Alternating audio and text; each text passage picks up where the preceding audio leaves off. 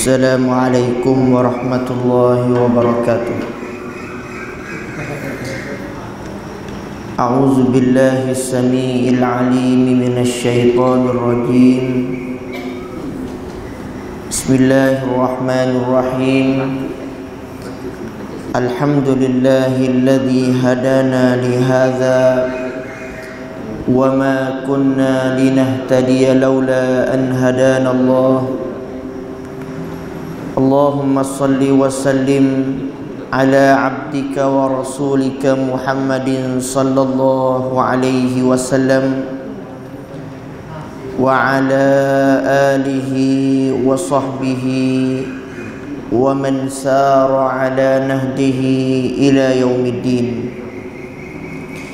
الحمد لله الحمد لله sama-sama kita syukur kepada Allah Subhanahu wa taala yang mana Allah Subhanahu wa taala masih kurniakan taufik dan hidayah kepada kita. Boleh kita sama-sama tunaikan perintah Allah Subhanahu wa taala. Alhamdulillah bi ni'matihi tatimmu salihat.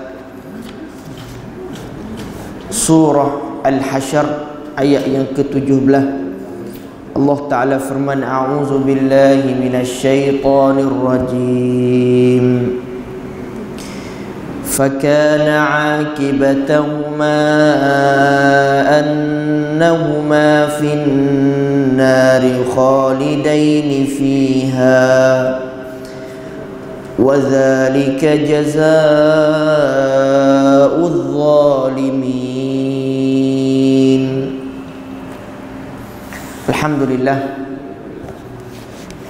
Setelah mana Allah Ta'ala Cerita Umpama eh dua kumpulan Jin, eh, setan dan juga Manusia eh, Manusia yang kufur kepada Allah Subhanahu Wa Ta'ala Orang yang Tidak setuju dengan agama Allah Ta'ala Walau mereka tunjuk dengan zahir sekalipun kata dia ni Islam tetapi hakikat sebenarnya dia adalah an-nifaq kufur seperti mana Allah Taala royaklah ha, setan ni apabila dia tipu manusia setelah mana dia tipu manusia ni dia tak mengaku dah lah dia tak mengaku kata dia seperti mana Uh, dalam sejarah Bani Israel seorang ada seorang lelaki itu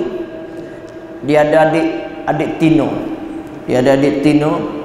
Maka adik tino tu tu Allah Taala ujilah dengan seorang orang abid orang sentiasa buat ibadat kepada Allah Subhanahu wa taala.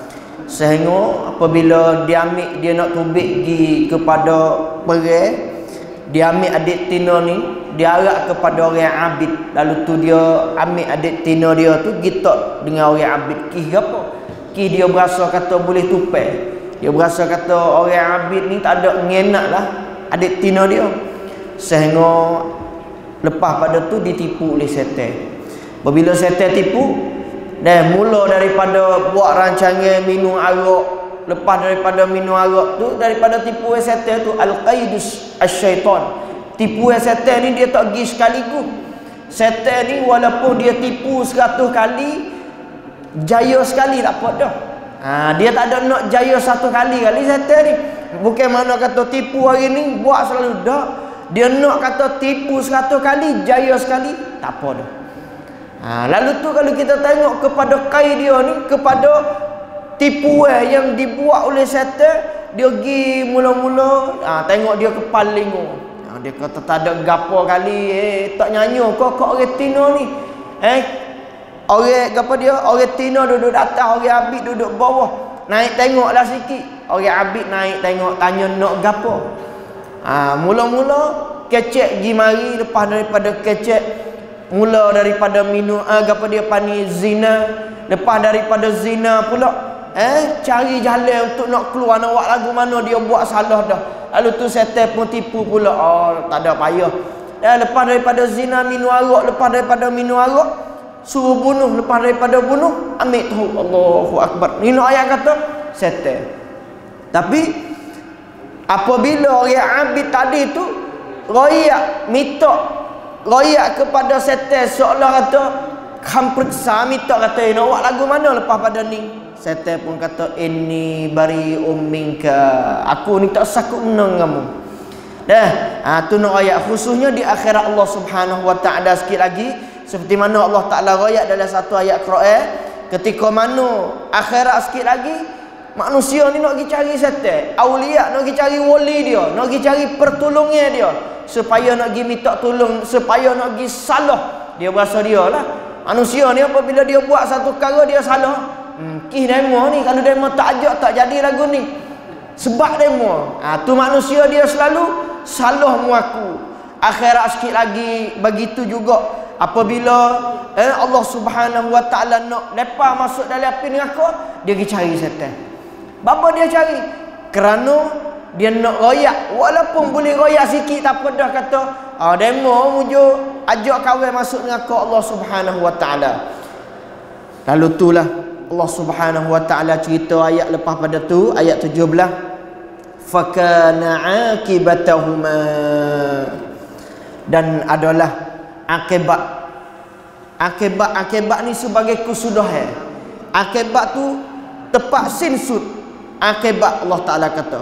Akibat dia huma dua-dua tadi. Iaitu asyaitan wal ins dua-dua tadi setan dan juga manusia Allah Taala royak akibat kesudahan mereka ha lalu tu akibat kebaikan kesudahan orang yang berilmu dia ada dua je yang pertama syurga yang kedua neraka dan juga dua kumpulan ni lah akan dikira oleh Allah Subhanahu wa taala pada hari akhirat Allah Subhanahu wa taala. Eh, Allah Taala akan kira setan dan juga manusia. Ha, manusia dan setan akan dikira akan dihisap oleh Allah Subhanahu wa taala. Wa emma kumpulan selain daripada dua ni tak ada kena dikira. Binatang, eh, pokok kayu eh, dan juga selain daripadanya tak ada kena kira dengan ke syurga dah lah. Tetapi setan dan juga manusia akan dikirakan neraka dan juga syurga. Tetapi akibat keburukan kedua yang mana? Al-kufr. Kufur. Ha, manusia dan juga jin lah dan juga setan yang duduk di dalam kekufuran. Lalu tu Allah Subhanahu wa taala cerita manusia dan jin yang adanya kekufuran.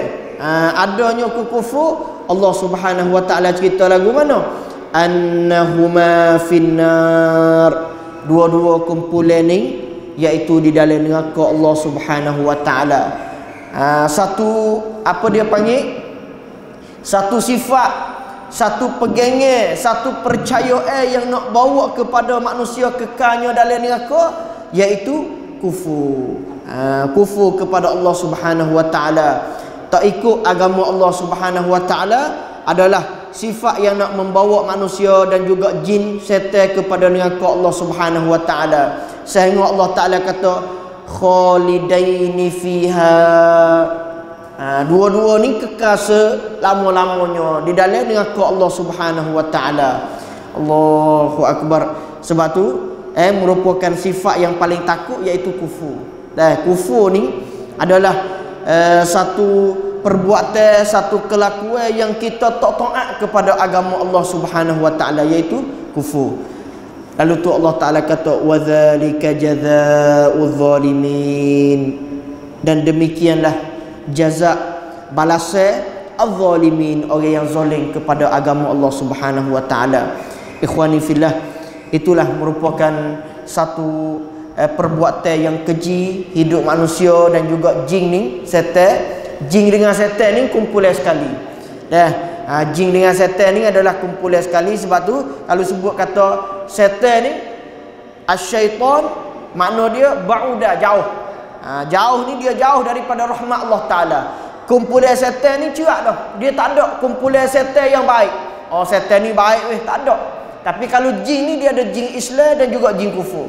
Tapi sebut kata setan ni ada lah setan ni ba'uda syaitana ba'uda. Jauh daripada rahmat Allah Subhanahu wa taala.